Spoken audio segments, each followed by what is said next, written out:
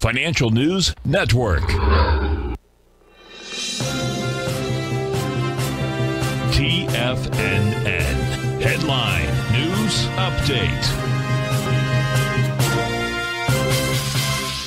Good morning, folks. This is Steve Rhodes coming to you live from the shores of uh, sunny Delray Beach, Florida. This is your 9 a.m. update, and uh, currently we got a, a, uh, little bit of a mixed bag out here in the equity futures. The Dow futures up 53, Nasdaq's off 17, the S&P is basically flat. The uh, E-mini Russell down uh, five points. Spot volatility still below its 50-day exponential moving average. Right now, it's trading out at 1687. Overnight in Asia, uh, last uh, overnight in Asia, you had a mixed bag out here. The Shanghai finishing a bit lower, a third of a percent down 12 points. The Nikkei up 31. The Hang Seng up one and a quarter percent at three uh, up uh, up 322 points. Over in Europe, a little bit of a mixed bag as well. 74 points to the upside in the DAX. The FTSE down 11. The DAX should form a TD9 count top uh, today suggests a bit of a pullback.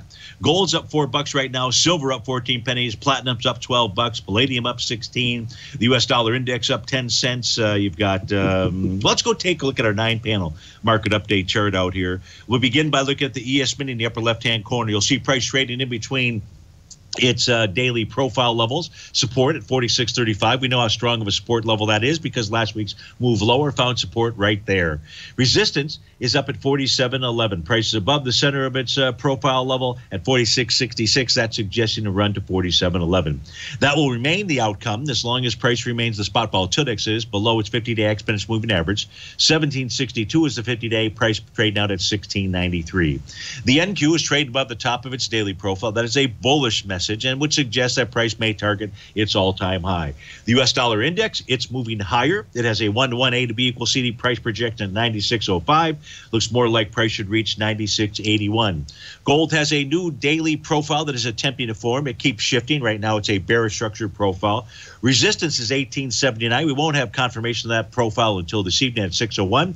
The same thing with regard to silver. It's trading up into resistance. That's at the 2549 level out there. In the case of both gold and silver, we've got short term topping signals that should form today, TD9 count patterns, that is. So we would expect a retracement to occur. We'll not be surprised if we see that unfold over the next couple of days out here. light sweet crude's got support at 79.56. Natural gas targeting the top of its daily profile. That's 529. And a 30 year treasury Treasury sitting on support, 160 even Steven, the bottom of its daily profile. Folks, stay tuned for Tommy O'Brien. I'm just got a great show lined up for you.